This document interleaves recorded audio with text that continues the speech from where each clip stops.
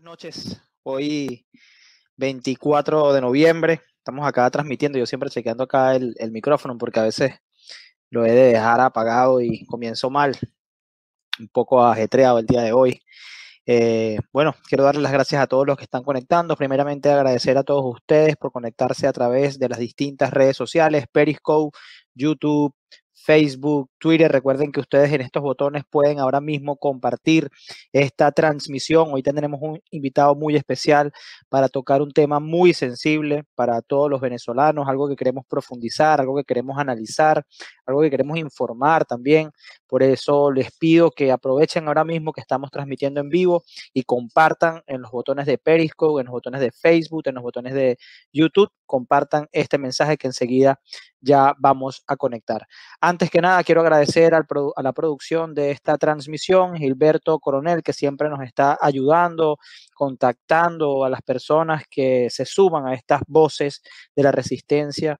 También agradecer profundamente a Net Noticias, a NEC Noticias, que siempre está difundiendo este contenido y de una vez lo invitamos a todos ustedes, que si ustedes quieren compartir este contenido luego de la transmisión, eh, ustedes pueden hacerlo a través del canal Net Noticias. Aprovecho para que después de esta transmisión vayan a YouTube, busquen Net Noticias y compartan ese importante canal de noticias a través de las redes. Ellos siempre están transmitiendo distintas visiones, distinto contenido, distinta información y a ellos agradecemos por difundir estas transmisiones, voces de la resistencia. Eh, también eh, quiero, bueno, eh, darle acá el, digamos, la frase que siempre nos preparan para comenzar el día eh, con todo, y es la resistencia de una cadena se mide por su eslabón más débil. Eso es de José María Escriba de Balaguer. Y sin más, yo quiero comenzar acá, por aquí ya lo veo, quiero presentar a nuestro invitado de eh, la noche de hoy, él es Orlando Moreno activista de los derechos humanos, coordinador de los defensores activos de la organización no gubernamental Internacional Foro Penal. Él también es el coordinador estadal del Partido 20 Venezuela en el estado del Tamacuro y fundador, presidente de Ojiru Vida Ecológica o Ojiru Vida Ecológica. Ahorita le preguntamos bien cómo se pronuncia. Él es estudiante del noveno semestre de Ingeniería Electrónica en el Instituto Universitario Politécnico Santiago de Mariño, Extensión Maturín, expreso político del régimen de Nicolás Maduro y está dedicado a la lucha por el resguardo del medio ambiente, los derechos humanos, la libertad de los presos políticos y la libertad del país. A Orlando Moreno, bueno, tengo muchas experiencias, ahorita se las comento aquí y aquí está con nosotros. Buenas noches, Orlando, gracias por conectarte. Sé que has tenido días y horas ajetreadas, tu compromiso con Venezuela siempre eh, te tiene bien, bien ocupado, pero te agradezco que hoy puedas transmitirnos un poco de esto. Buenas noches, Orlando, bienvenido. Buenas noches, Julio, gracias por la, por la oportunidad y por la ventana que nos estás abriendo en tu canal. Sí, bueno, no, no es mi canal, es tu canal. Esto, esta idea de, de de transmitir voces de la resistencia. Es que, bueno, viene sabido lo que ha venido ocurriendo con el tema de la media, tanto en Venezuela como afuera, el tema de las redes, y a veces nos quedamos sin, eh, sin oír opiniones que nos interesan o saber de información que nos interesa. Y bueno, hemos abierto este canal para ello, para que las voces legítimas, genuinas de la resistencia, que es la que está allí eh, en Venezuela o los, o los, venezolanos que están en distintas partes del mundo, puedan ser escuchadas y, y, entre todos veamos con la información en qué podemos activar, en qué podemos colaborar para, para las distintas causas que se abren en torno a nuestras problemáticas. Eh, Orlando, bueno, primero yo, yo quiero eh, decirte, felicitarte, darte las gracias, el agradecimiento por lo que tú has venido haciendo. Yo quisiera contar aquí brevemente para introducir que eh, a Orlando lo conozco desde hace unos eh, seis años o cinco años eh, eh, digamos que lo, lo, conozco de la acción, de la acción determinada. Ya él venía, por supuesto, con una trayectoria mucho más larga, eh, pero nos tocó eh, compartir una acción, y eso fue hace un, unos cinco años, que fue una huelga de hambre por, lo, por los presos políticos y otro tipo de otras condiciones que pedimos allí. Ya luego, eh, Orlando por supuesto, en, en, todo este camino ha venido comprometiéndose en, en mucho más cosas o, o, cosas de mucha relevancia para Venezuela. Y una de ellas es el tema de la defensa de los derechos humanos allá en el estado Monagas y en el estado del Tamacuro, donde, hace, donde él está haciendo vida. Y, y bueno, eh, te, aprovecho estas primeras palabras para, para, agradecerte por tu compromiso. Sé que no es nada fácil estar allí en el frente y sobre todo eh, elevando las banderas de esta causa. Pero Orlando, lo que hoy me trae especialmente a contactarte es una noticia que nos ha indignado a todos los venezolanos y es el tema de la expulsión y la forma en cómo han ejecutado esta expulsión de unos eh, venezolanos, entre ellos niños y entre ellos incluso menores de edad. ¿Qué nos puedes contar al respecto de esta situación que se ha dado en Trinidad y Tobago y entiendo eh, está, está desarrollándose en este momento en Venezuela? Porque entiendo que allá los menores han llegado al país.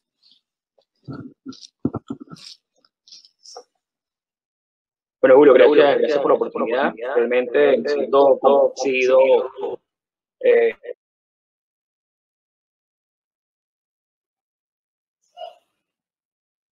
civilizar lo que hoy está pasando nuestro pueblo venezolano. Eh, sinceramente, eh, siempre hemos, eh, bueno, prácticamente coincidido en algo importante, que evidentemente esto hay que, hay que asumirlo con mucha, con mucha valentía y con mucha seriedad y creo que bajo el contexto que nos conocimos, ese era, ese era, era una de, de los, de los nortes de los norte que tenían, ¿no? Bueno, en esta, en esta oportunidad eh, he tenido realmente la, la, situación tan dura de denunciar situaciones que de verdad son dantescas, eh, puedo decir asquerosas, de algunos de, de, gobiernos y tiranías. Cuando hablo de gobierno me, me, me refiero al gobierno actual de Trinidad y Tobago y también de enfrentar tiranías que lo único que, que, hace en su política de Estado es prácticamente eh, hacer que el venezolano sea eh, prácticamente más miserable para, para, para ellos, en este caso, bueno, puedan de alguna manera mantener el control social. Y eso prácticamente lo ha, lo ha ejercido estos, estos dos, eh, estas dos personas. Uno es Nicolás Maduro, el otro es em, eh, Rowling en Trinidad y Tobago. La situación que hoy viven los, los venezolanos en Trinidad y Tobago, que huyen desesperadamente por, por la frontera de, de nuestro país, en este caso, y Sucre, vemos claramente una, una política de estado de persecución, de amedrentamiento, maltrato, eh, detenciones y también de deportaciones. Pero esto no es algo que realmente eh, pueda sorprendernos a quienes hemos estado prácticamente haciendo este trabajo. Lamentablemente, bueno, se, se, dio a conocer con la deportación de 16 niños, sino que esto ya ha ocurrido en mucho tiempo y en muchos años. La política trinitaria es hacerse de los venezolanos. Hoy en día, la cifra que maneja es de 40.000 venezolanos eh, como solicitantes de asilo o de refugio. Y muchos de ellos vienen, evidentemente, eh, o, el, o, o, la, o, la, o la masa más grande es de, de, de venezolanos de Delta Macuro y Sucre, que son prácticamente estados frontera.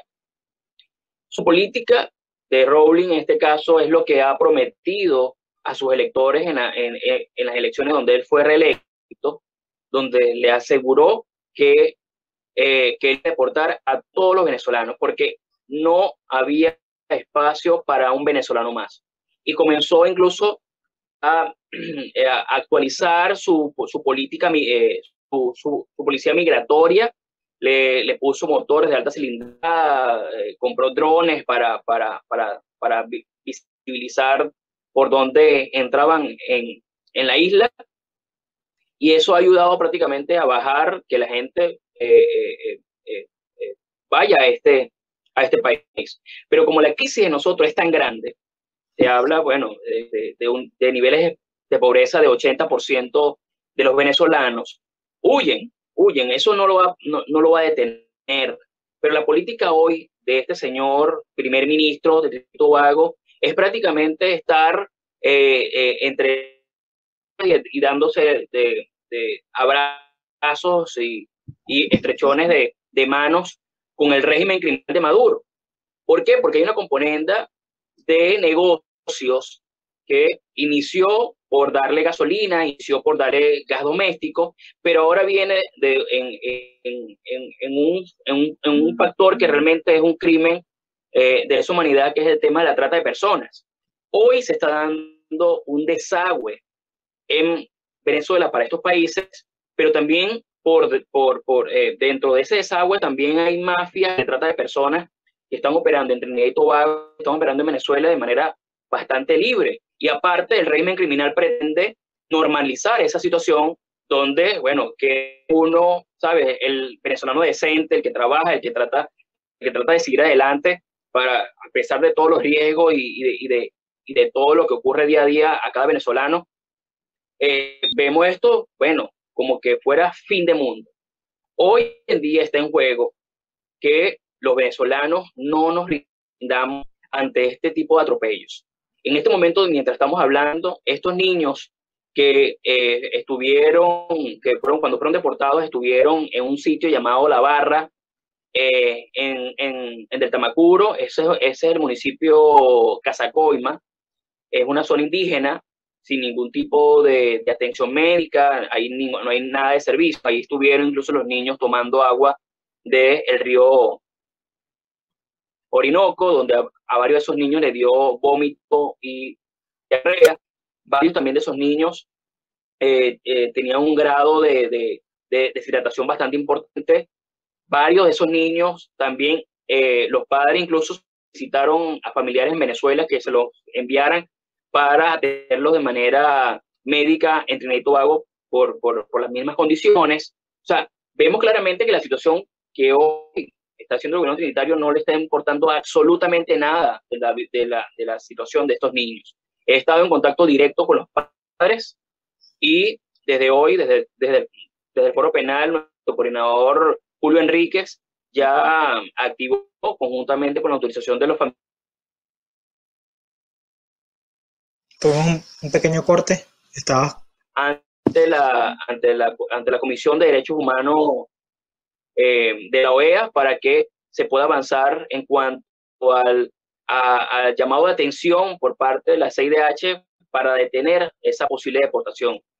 Ellos están ahorita en Trinidad y Tobago, estuvieron al, al llegar a tierra firme, lo abordó la policía, lo montaron en autobús y lo llevaron al área de inmigración. De inmigración salieron a, a una estación policial eh, ahí en Trinidad y Tobago donde se prevé que, que, estas personas o estos niños también pueden otra vez pasar por el proceso de deportación. Lo que estamos nosotros haciendo, los activistas de derechos humanos, es tratando de que haya un, un, un, eh, un llamado internacional al gobierno trinitario para que cese el hostigamiento, para que cese esta, eh, eh, esta situación tan dantesca que, que, que, tiene en contra de solamente los venezolanos, eh, eh, que eso no ayuda en nada eh, en el tema de, de, de, de, que los venezolanos prácticamente puedan eh, eh, vivir de manera cómoda en este país, huyendo prácticamente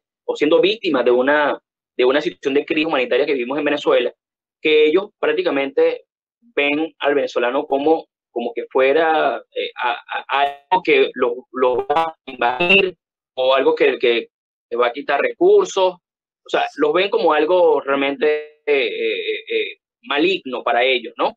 En este caso, gracias al pueblo trinitario, en, gran parte, a, el, en este caso, a, algunos han salido a la defensa de venezolanos, le han incluso permitido que, que muchos venezolanos, cuando hay una situación de, de, de arrestos, ellos le, le, permiten la huida de estos venezolanos para que corran eh, eh, prácticamente la, la, detención de la policía. Muchos de ellos, de, de, los trinitarios, apoyan a los venezolanos. O sea, hay una especie de hermandad porque hay una, hay, hay una hermandad histórica Trinidad y Tobago eh, hacia Venezuela, porque cuando Trinidad y Tobago también en hambruna, nosotros los recibimos con las puertas abiertas y es algo que realmente eh, sumamente importante y sé que muchos trinitarios lo entienden, pero en este caso la, la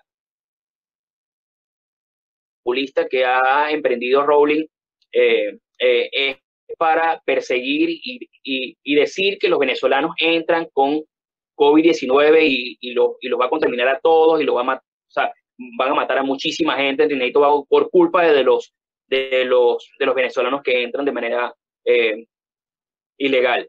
Esto, sin duda alguna, es algo que debe ser rechazado por cualquier venezolano en el mundo que entienda lo que es, lo, lo, lo que es dantesco, lo que es asqueroso, es expulsar de, de, un país a personas que huyen de una crisis como la que hoy estamos viviendo en Venezuela por culpa de un régimen criminal y nefasto que hoy lidera Nicolás Maduro en Venezuela. Sí, sin duda, Orlando, este tema tú lo has descrito de la mejor forma, un tema dantesco. Hoy conversaba con, un, con unos compañeros eh, sobre esta situación y uno, uno plantea, bueno, es que algunos países tienen eh, el derecho de dirigir sus políticas migratorias, etc. Y yo en cierta parte concuerdo en que los países, por supuesto, tienen eh, el derecho de, de, decidir quién entra y quién no, y a quién rechazan y quién no. Pero lo que está pasando en Trinidad y Tobago no tiene nada que ver con eso. Incluso cuando eso es bien discutible, esa posición que te estoy diciendo. Lo que está pasando en Venezuela, eh, lo que está pasando en Trinidad con los venezolanos es que los están humillando, que los están arriesgando y que lo que hicieron no tiene ningún tipo de justificación, sino es un acto criminal lo que hicieron, porque los venezolanos están protegidos eh, por de distintas agencias internacionales por ser refugiados. Somos ahora mismo, y a, eso vamos a avanzar eh, dentro de poco la conversación, tenemos una, una, enfrentando una crisis humanitaria sin precedentes, somos la, segunda población del mundo obligada al exilio, obligada a, migrar, y eh, eh, que un Estado eh, aplique políticas contrarias a cualquier protocolo es bastante detestable y que lo hagan con niños es, bien aberrante. O sea, que lo, que lo hayan hecho con niños es, es, más aberrante. Y no importa si hayan sido niños, adultos, viejitos, mujer o hombre. No pueden hacerlo con ningún venezolano. Eso está, eso está eh, eh, eh, contrario a todo. Para que la gente entre en contexto, Orlando, tengo acá un, un, material que ha publicado El Pitazo sobre la llegada de, de estos venezolanos a a Venezuela para que más o menos la gente vea cómo fue la situación, cómo ellos tuvieron que enfrentar al Tamar y de qué forma fueron expulsados de eh, Trinidad y Tobago. Vamos a ver si lo tengo por aquí. Si aquí está el video, vamos a...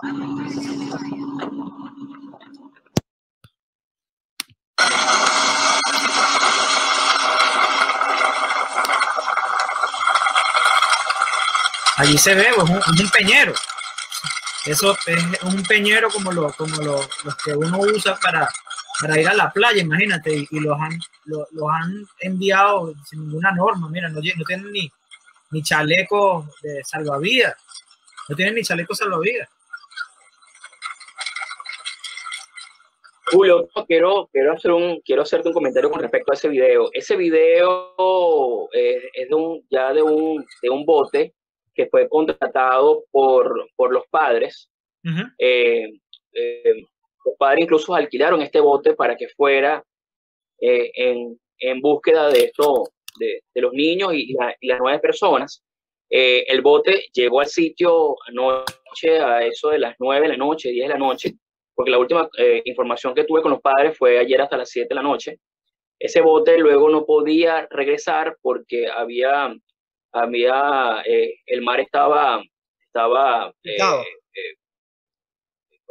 Sí, eh, había, había, mucho, ah, había muchas olas en el mar, ¿no? Y eso no, no, no permitió de que, de, que lo, de que estos jóvenes salieran nuevamente a reencontrarse con sus padres. Ellos aseguran que, bueno, muchísimas, muchísimas personas de ONG no, hablan prácticamente de la situación que viven, que viven los, que vivieron ellos por, por estos tres días que, prácticamente aseguran que no durmieron. Eh, aquí vemos claramente la solidaridad entre ellos, la solidaridad entre ellos. Pero claramente eh, los venezolanos que están allá, hay una especie de, cerco, eh, o sea, que no tienen ningún tipo de ayuda. Que incluso en este caso yo denunciaba ayer y hoy la complicidad de ACNUR. ¿Y por qué digo de la complicidad de ACNUR? Que, que pareciera un organismo internacional que pudiera ayudar para la protección de, de estas personas que, que, cumplen, que cumplen el estado migratorio y, que, y que, prácticamente deberían, deberían ser asilados o protegidos. Eh, ACNUR, para tú poder solicitar algún asilo, ellos, eh, si, si, no eres, eh, para ellos, si no eres una persona vulnerable, no te da la posibilidad de, de pedir asilo. Ellos deciden que a quién darle asilo o no, prácticamente violando una de sus de las leyes por las que se creó ACNUR. Y segundo, eh, la, eh, te dan un, eh, hay un número telefónico donde puedas solicitar la, la cita para, para poder tomar el estatus de asilo. Ese número prácticamente cambia diariamente para confundir al solicitante de asilo.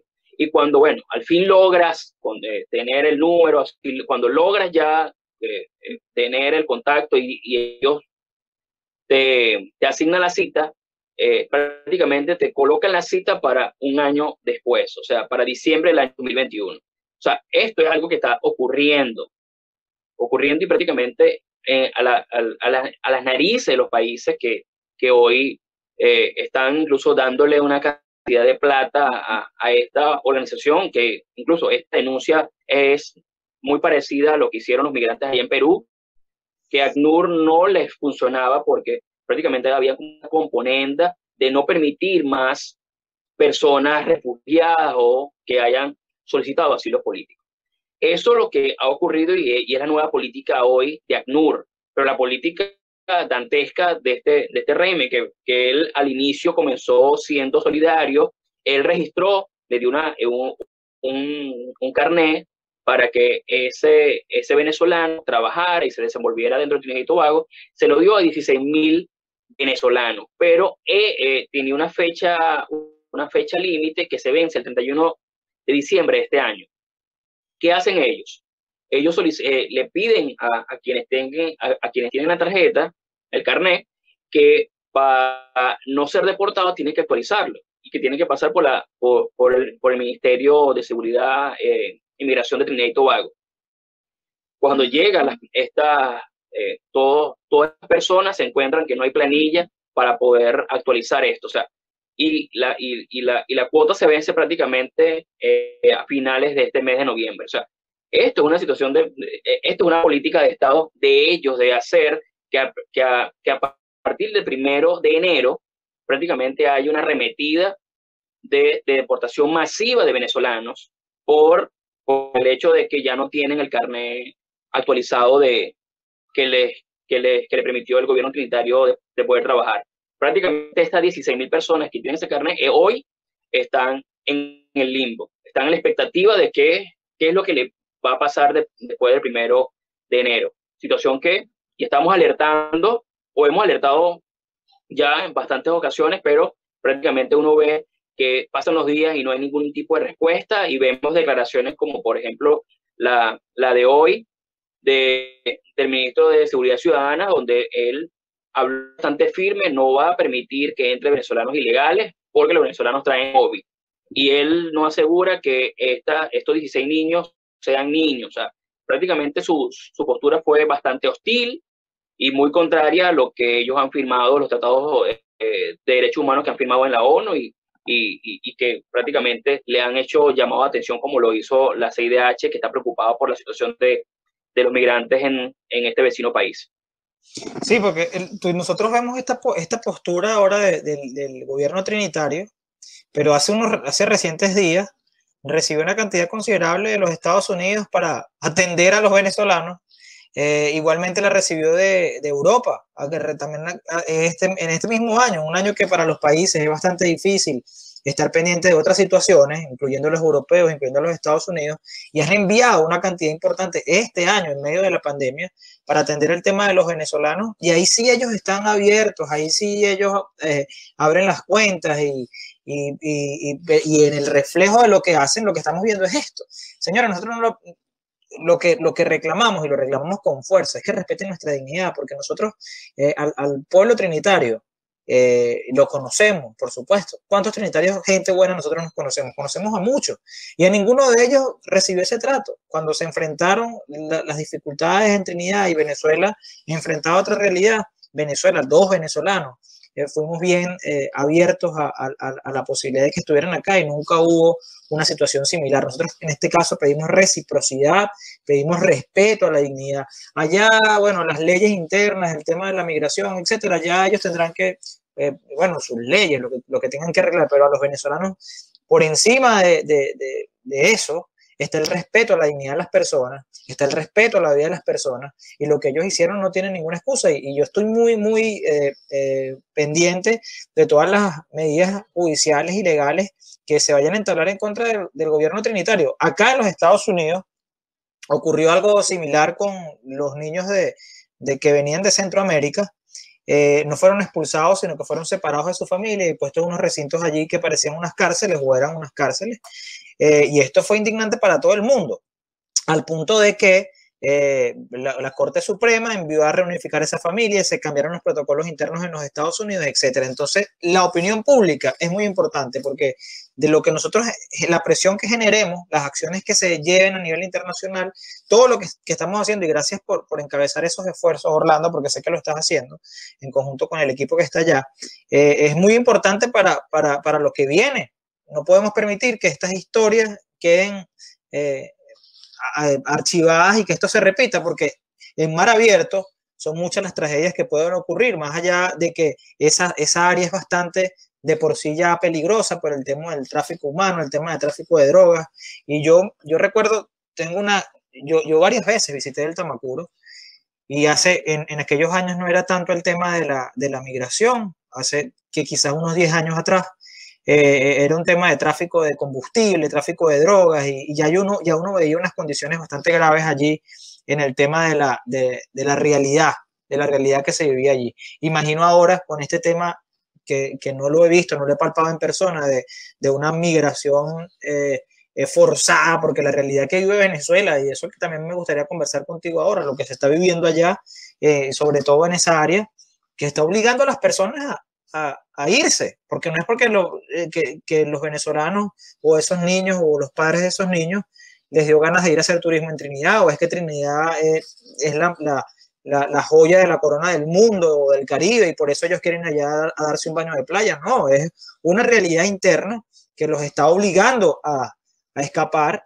y, y, esta forma en cómo se le está respondiendo no, no, no, es la, no, es, no, es, no, es, no es recíproca con la realidad que Venezuela brindó en el pasado.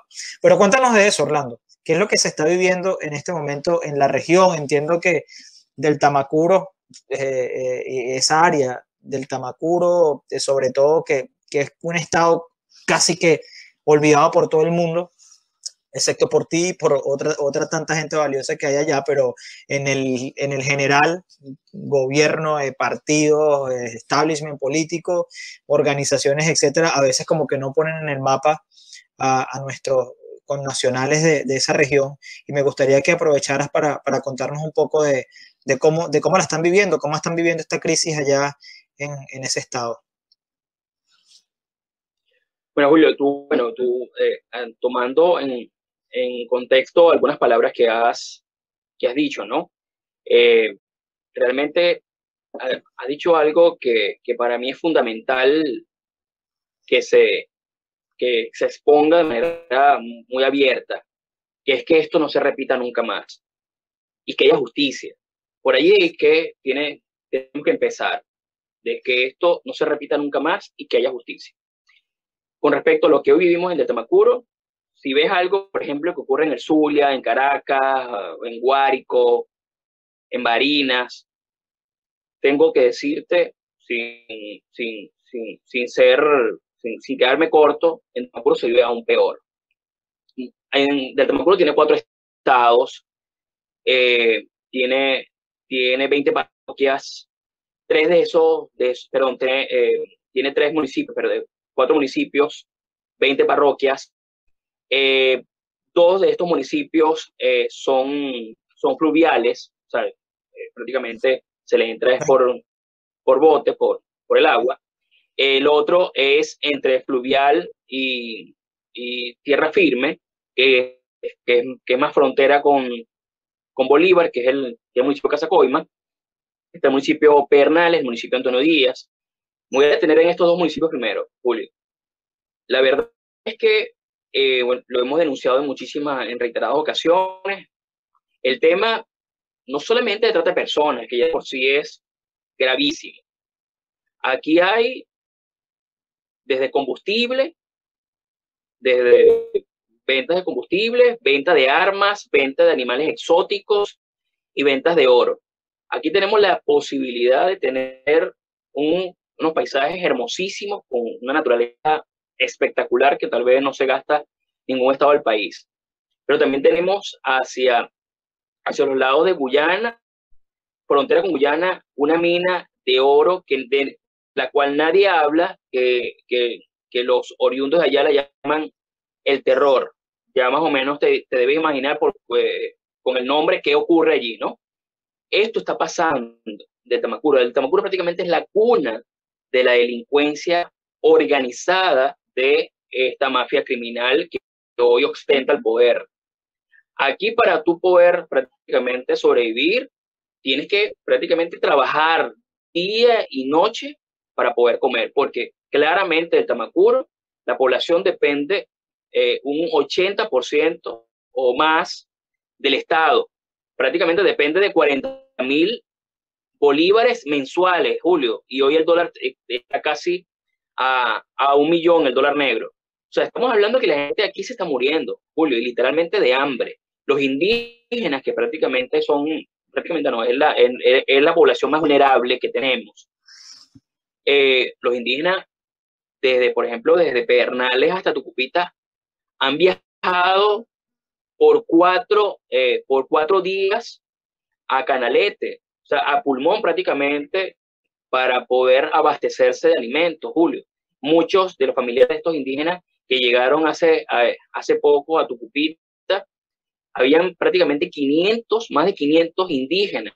Estamos hablando de, de aproximadamente más de 19 familias que llegaron a, a, a orillas del, del caño Mánamo en, en, Tucupita, prácticamente buscando desesperadamente eh, eh, buscar comida. Y muchas de estas poblaciones, por ejemplo, Pernales, que ya es frontera con Trinidad y Tobago, y Antonio Díaz, que, que, que, es hacia la vía de, de, de, Guyana, en estos dos municipios opera bandas criminales de alto calibre, desde la gasolina, desde la trata de personas, o sea, aquí hay personas que prácticamente se dedican y operan en, en estas aguas para hacer muchísimo dinero, donde prácticamente eh, Guyana y Trinidad y Tobago son los países de, de conexión para, para ellos poder sostenerse. Imagínate cómo ahora podrá estar la población civil en un momento donde prácticamente ve que todo es un negocio, de que la gasolina es un negocio, que, que, que bueno, que prácticamente los índices de pobreza aquí superaron eh, todo, todo, todas las cosas que nosotros no, hemos podido imaginar. Tucupita está, sí, como lo dijiste, olvidada por el mundo.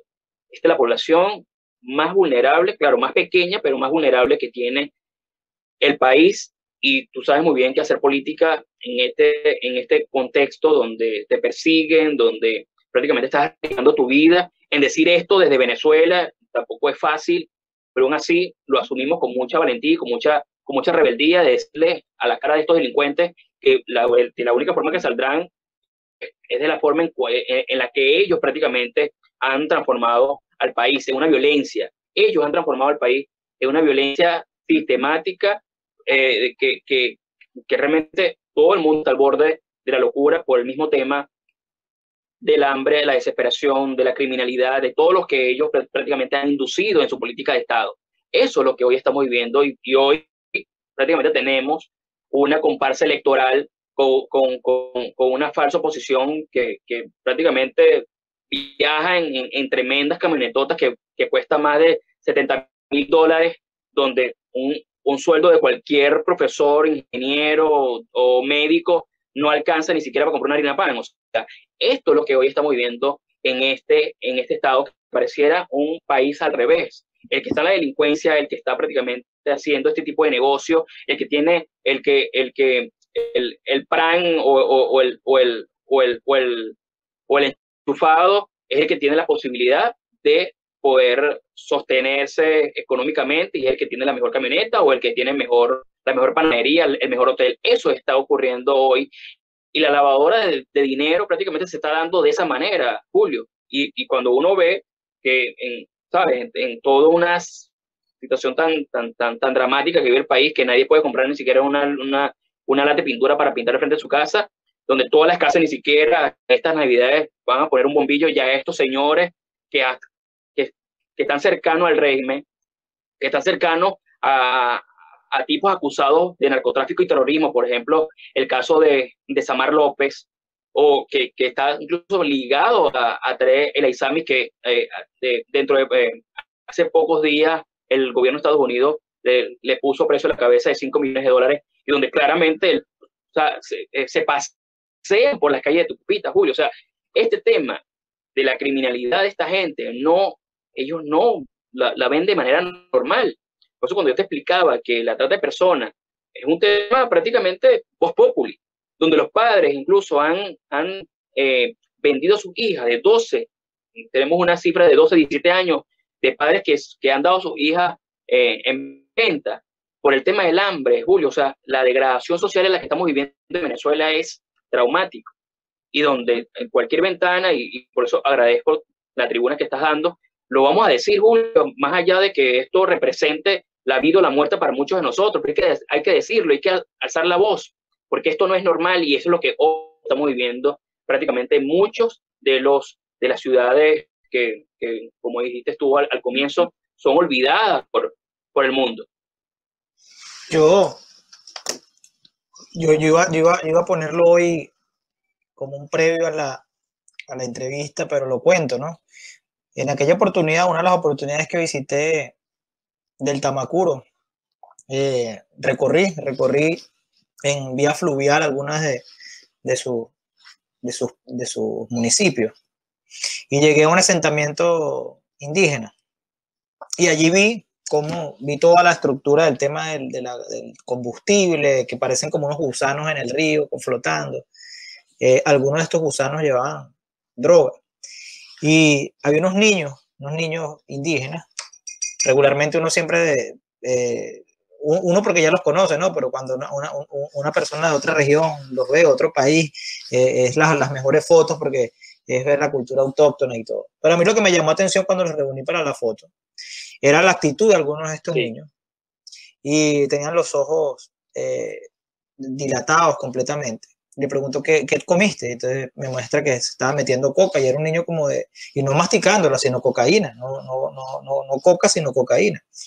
Eh, y toda aquella realidad me, me, me, dio un impacto terrible. Cuando tú me estás contando este tema de la trata de personas, ya este tema de los niños, de la trata de, de, de, niñas para prostituirlas en el mercado de, pedófilos y de, y, y de, locos en el mundo, y, y salen por allí, por el Delta y por Sucre, y van hacia, hacia Trinidad, es algo que te, te doy gracias por los riesgos que corres, porque es algo que sí hay que denunciar lo que está ocurriendo.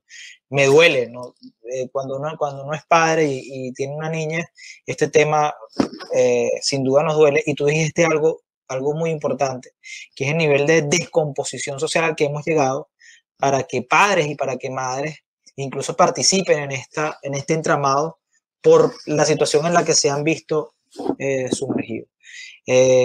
Eh, es algo que hay que denunciar, es algo que hay, por lo que hay que luchar, hay que buscar mecanismos. Es muy bueno que lo informes. Gracias, Orlando, por, por darnos esa, esa información, porque es algo que hay que poner el ojo. Porque mientras está la diatriba de lo que, se, de lo que va a ocurrir en el país, mira, se nos, se nos acaba de ir la señal de, de, Orlando, de lo que va a ocurrir en el país, mientras que está ese debate de, de, de cómo eh, solucionar la crisis, hay cosas que no podemos dejar pasar por alto. Y es este tema que están viviendo en nuestras regiones, eh, bueno, fíjense lo que nos acaba de comentar Orlando, un tema de trata de personas, de que están, eh, hay un mercado llevándose a nuestras niñas a otros países para complacer las perversidades de otros. Y eso es algo por lo cual nosotros tenemos que elevar la voz, algo que tenemos que denunciar. Orlando hoy nos ha dado un resumen, algo eh, complicado por el tema de la señal y la transmisión, y en esa vida la realidad del país. Pero yo le agradezco profundamente que haya elevado la voz y que esté comprometido en esta situación de defensa de los derechos humanos en esta región del país. Entendemos muy bien las complicaciones eh, que hay allá, las complicaciones geográficas, las complicaciones tecnológicas, inmersas dentro de una crisis sin precedentes eh, en todo el hemisferio y es la realidad que le toca hoy vivir a Venezuela. Yo eh, ahí, creo que recuperamos conexión con Orlando. Vamos a, ver si, si, lo logramos ver. Perdimos, perdimos hace unos segundos la señal con, con Orlando. Él ha venido dándonos un resumen tanto de la situación de estos venezolanos que a los cuales se le vulneraron los derechos. Ahí sí, ya lo tenemos, acá está. Disculpe, Orlando, habíamos perdido allí la señal contigo. Estaba comentando que, estamos profundamente agradecidos con, lo, con, esta intervención y este paneo que nos has dado eh, de la región. Orlando, eh, buscando ya eh, cerrar, ¿qué mensaje le das? Bueno, o antes de llegar a ese mensaje, si, no, no, sé cómo estás allí de, tiempo y, sobre todo de, de posibilidad con el tema de la señal, pero eh, eh, encima de todo esto, hay gente que está luchando por, por cambiar. se, se, volvió a caer, la, se volvió a caer la, la, señal. Creo que hay unas complicaciones ahí con la señal en, en, en, el, en, el, estado. Pero lo que quería, a lo que quería llegar con Orlando y que, y que lo desarrollo con ustedes es que toda esta situación, esta realidad de los niños que fueron expulsados en Trinidad, de esta, este golpe a nuestra dignidad, esta humillación esta violación a los derechos humanos a las que han sido sometidos nuestros connacionales tiene una responsabilidad mayor, una responsabilidad mayor, más allá del primer ministro de Trinidad. Y esa responsabilidad recae en el establishment político venezolano, en los grupos criminales que se están aferrando al poder, que mientras ellos se aferran al poder y mientras los otros andan en una discusión estéril de, cómo solucionar las cosas, los venezolanos tengan que ser eh, revolcados en este tipo de estiércol como lo han hecho con nuestros connacionales en Trinidad y Tobago. Y es algo que los venezolanos no podemos tolerar. No podemos tolerar que a, nuestra nacionalidad, que a nuestros connacionales, que a nuestros eh, hermanos venezolanos eh, sean tratados de esta forma porque le puede pasar a cualquiera de nosotros, le puede pasar a cualquier familiar. esto que está ocurriendo lo que ha ocurrido en Trinidad y Tobago es algo que tenemos que denunciar, algo que tenemos que rechazar. Lamentablemente no logro recuperar acá la conexión con, con Orlando, pero creo que está haciendo el intento por otra, por otra vía. Vamos a ver si lo, si lo logra. Eh, yo quería comentar también, ya buscando concluir la transmisión, que hace un, vamos a ver si, lo, si logro escucharlo. Eh, ¿Tú nos escuchas, Orlando? Sí, güey, los, escucho. Sí, no te, no te, no te, no te podemos, no te podemos ver, pero sí me gustaría que te estamos escuchando fuerte y claro. Eh, Orlando, eh, respecto a toda esta realidad, hay gente que está luchando por cambiarla. Hay gente que ha venido luchando, participando políticamente, eh, civiles, militares, pero entre toda esta realidad surge la represión y la persecución. Y hay muchos de ellos que están en prisión política y entiendo que tú tienes conocimiento sobre la situación de estas personas.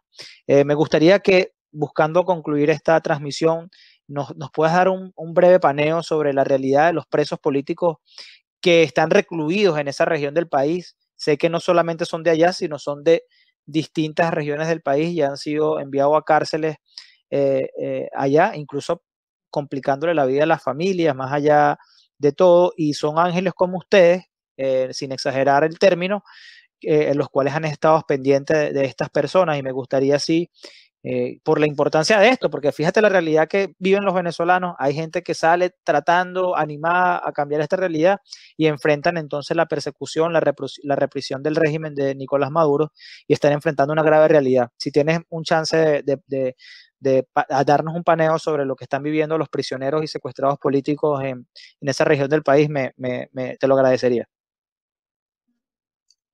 Bueno, muy bueno. Disculpa que hubo un, bajón de luz y Entendemos. un reinicio de la, de la conectividad. Recuerda que, estamos en Venezuela y aquí eso ocurre a diario. Ahora bien, eh, con respecto a la situación de presos políticos, bueno, también, aquí vemos eh, cosas que, que realmente son bastante desagradables. Por ejemplo, en La Pica se presentó hace unos días una situación, Julio, que, que yo puedo en ese contexto decir que fue lamentable. Eh, una, eh, eh, hubo una situación de, de, de, muchos disparos, ráfagas de tiro. eso fue el fin de semana pasado, en plena visita de, lo, de, de, las personas hacia, hacia, el, hacia el área común de la cárcel, pero luego se vio como una especie de avalancha eh, que venía saliendo y se escuchaba una ráfaga de tiro. En este, en este recinto nosotros tenemos eh, a una cantidad de, presos políticos. Eh, ellos están en el área de, de Prosemil Militares, un área militar que tiene, que tiene allí la pica, es el único, única cárcel militar que tiene el oriente del país y eso quiero, quiero dejarlo claro, cuando hubo la protesta, por ejemplo, de 2017, tuvimos un aproximado de 35 estudiantes detenidos en esta cárcel.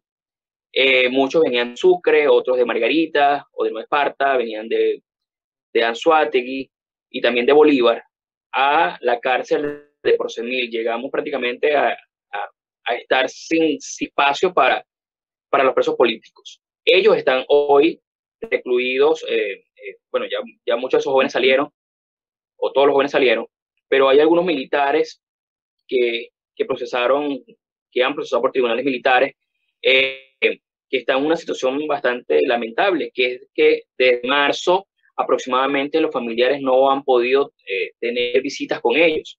O sea, no solamente el tema de la pandemia y, y de la situación que, que ahí se presenta en la pica, de ráfagas de tiro y prácticamente la guardia no hace absolutamente nada, eh, sino que ahora le prohíbes la visita de, del ser prácticamente más importante o cercano que tienes. Entonces, eso, bueno, ya los familiares han ido denunciándolo ante, ante el director de, de Procemil, ante, ante eh, la corte, pero no hay ningún tipo de respuesta. Julio, y esto son cosas que realmente, eh, bueno, desagradan y es ahí donde yo digo que esto no se debe de olvidar jamás o no se debe repetir jamás, hay que tener memoria para que esto no se repita nunca más.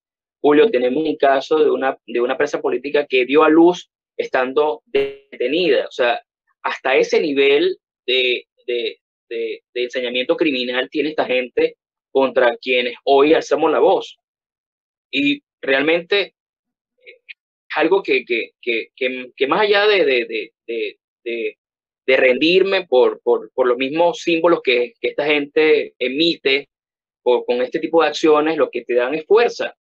Eso es lo que ellos no entienden, que este tipo de situaciones prácticamente lo que nos da es fuerza para, para seguir y para, y para decir en la cara que deben de salir ya de poder porque el tiempo se les acabó, el tiempo de la criminalidad se les acabó.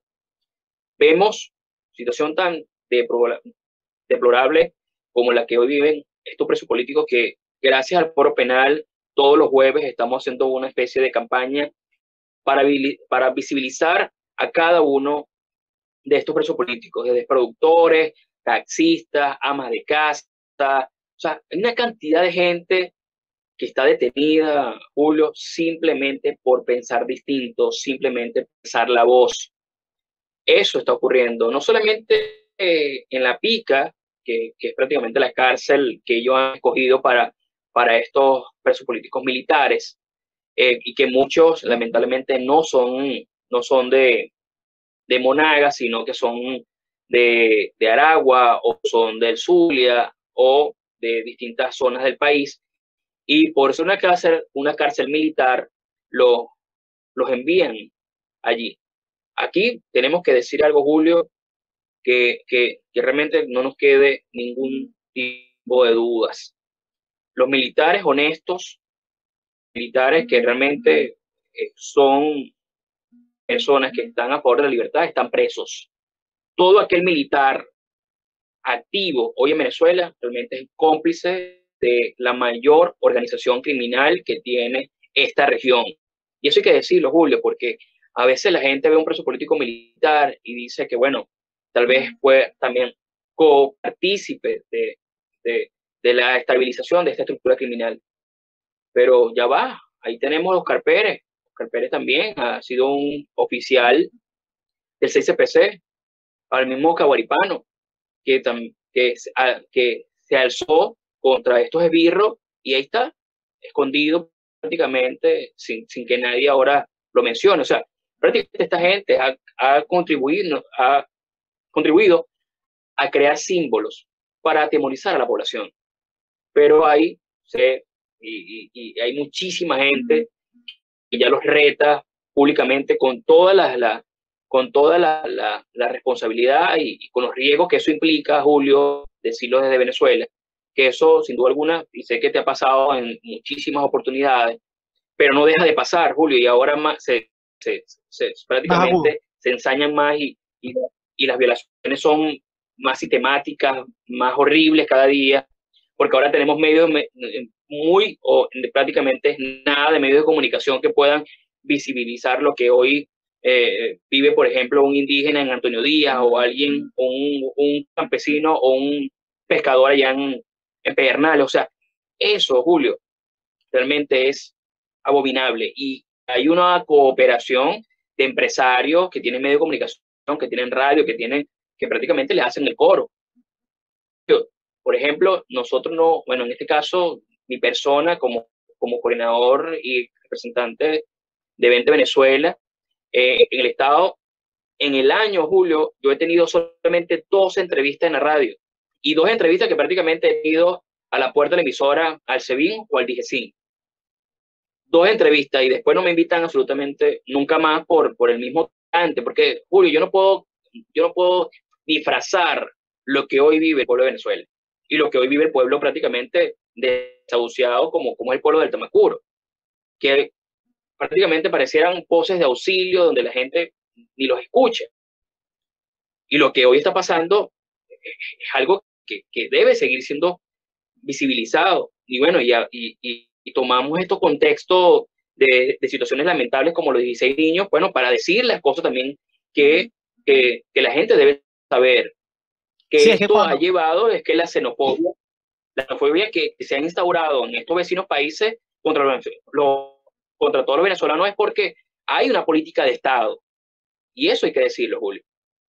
Sí, es que sin duda eh, todo lo que ocurrió con estos niños, que es como la punta del iceberg de una gran problemática, y hoy contigo la hemos, la hemos eh, eh, paneado, una realidad de, de, la realidad que viven o la, situación de vida que están viviendo eh, lo, los vecinos en esta región del país, de criminalidad, de miseria, de desidia, una realidad de las personas que levantan la voz para no seguir viviendo así y son enviadas a recintos carcelarios, tú nos has contado lo que enfrentan, enfrentan el riesgo de morir en cualquier minuto cuando se dan estas plomazones entre, entre recluidos allí, eh, una realidad que arrastra que las personas se escapen. Entonces lo que vemos en lugar de solidaridad o de protocolos adecuados a la realidad que está viviendo, la triste realidad que está viviendo Venezuela, vemos este tipo de actitudes. Orlando, ya para concluir, un mensaje para los venezolanos en, esta, en estas horas tan difíciles. Eh, un mensaje que tú quieras, con el que tú quieras cerrar esta, esta transmisión el día de hoy. Pero realmente quisiera compartir, Julio, lo que nos ha unido en el momento, no rendirnos. Creo que bajo esa, bajo esa eh, responsabilidad de no rendirnos es donde ellos incluso han tratado de quebrarnos. Y ahí es donde eh, la, la, la, la, la, eh, la presión que ellos ejercen es en quebrarnos. Por eso es que hay que mantenernos firmes, no rendirnos y seguir adelante porque estoy seguro de que nosotros vamos a reconstruir esta, nuestra nación, Julio, y, y, y, sé que al salir esta, esta organización criminal del poder, tú vas a venir también a reconstruirlo junto a nosotros y vamos a hacer de esa Venezuela una Venezuela rica de verdad, con todos los venezolanos que están en el exterior para hacer de esta nación un, un, lugar para el futuro de nuestros niños, Julio, porque estoy seguro de que Dios está con nosotros. Gracias por la oportunidad, Julio, de verdad.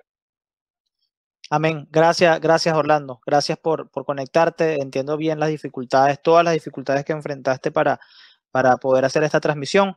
Eh, te agradezco mucho que hayas estado acá y espero que pronto nos, reencontremos. Seguro que va a ser así. Estoy completamente seguro que nos vamos a reencontrar por allá. Te envío un fuerte abrazo y de nuevo te reitero mi agradecimiento y que esta ventana está abierta para, para cuando se necesite y lo requiera. Este, estamos, vamos a estar pendientes de ti, pero igualmente eh, cualquier emergencia o cualquier cosa que, que, tú necesites, solamente un mensajito y, y, estaremos allí pendientes. Un fuerte abrazo, Orlando. Gracias por, por conectarte. Gracias, Julio. Un abrazo a ti y a, tu familia y que Dios te bendiga. Amén. Bueno, Orlando Moreno, un extraordinario eh, dirigente de esos héroes eh, yo los califico así, eh, es un héroe y un ángel, todo lo que Orlando está haciendo por Venezuela y sobre todo allá en esa región del país, enfocado en los presos políticos, pendientes de nuestros migrantes, pendientes de la realidad, pendientes de nuestros indígenas, involucrados en las organizaciones no gubernamentales como el Foro Penal, defensor activo del Foro Penal en, en esta región del país. Eh, bueno, todo lo que a veces la gente se pregunta, ¿qué puedo hacer? ¿Qué voy a hacer? Él lo está haciendo allá, dirigiendo también, siendo parte de una generación de relevo político eh, importante allá. Bueno, Ahí hoy lo tuvimos acá, una voz genuina de la resistencia. Orlando Moreno nos ha dado este paneo de la realidad de lo que ocurre con Venezuela y por eso le pusimos Trinidad y Tobago, pero es venezolanos a la deriva.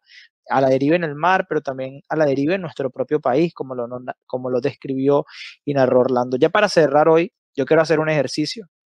No quiero ser nada ridículo, quiero ser honesto. Voy a cerrar los ojos solamente por un, te un tema de, ayuda para viajar a, a, ese momento. Estoy en Monagas, agarro la carretera. La carretera es de dos canales y está rodeada de selva. Voy vía el Tamacuro. Allí, a mitad de camino, entre alguno, algunas llanuras que me encontré y algunas torres, encuentro más espeso la selva a mi alrededor y ahí en un puente, un puente, como dije, con la vegetación más densa y unas chozas allí me bajo en la choza, veo unos peñeros, unos peñeros eh, bien flaquitos y largos. Nos montamos en esos peñeros y ese es el río Morichal. Un río con un color particular. Cuando lo ves de cerca ves que es transparente, pero da un color espeso, rojizo. Y creo que es por el fruto del morichal que está abajo en su lecho. Recorres esa agua calmada cuando recorres con el peñero, pareciera que cortaras el agua. Ves los monos gritar, brincar entre las ramas de los morichales. Siempre a tu alrededor la espesura de la selva. Avanzas en el río, te dejas llevar por la brisa y llegas después de unas tantas horas en destino a El Tamacuro, llegas a un especie de palafito. Te bajas allí, tomas un kayak, navegas, te encuentras con un gran pez, no es un pez eh, de esos que fritan en las orillas de las playas. Es un delfín, sí, es un delfín, le dicen Tonina, está allí, en ese río. Eh, oyes los gritos del guardaparques que está cerca y te dice, pendiente que por allá anacondas también. Y entiendes que no es una película, es tu país, es tu realidad. Esa es la Venezuela que recuerdo y la que me duele que hoy esté sufriendo y que no sea ese río el que hoy están navegando para disfrutarlo, sino tengan que enfrentarse en mar abierto a la injusticia por lo que se está viviendo en nuestro país. Yo espero volver a navegar nuestros ríos, volver a navegar nuestras, nuestros mares en dignidad. Vamos a elevar todas las voces que tengamos que elevar para que lo que ha ocurrido con nuestros connacionales en Trinidad y Tobago no se repita. Dios, patria y gloria, resistencia hasta la victoria. Nos, nos, vemos el próximo jueves a las 8 de la noche y los invito a compartir esta transmisión. Los invito a seguir a Net Noticias que nos está haciendo eh, el gran favor de difundir este mensaje, de difundir estas transmisiones a través de su canal. Nos vemos entonces el jueves 26 a las 8 de la noche. Repito, Dios, patria y gloria resistencia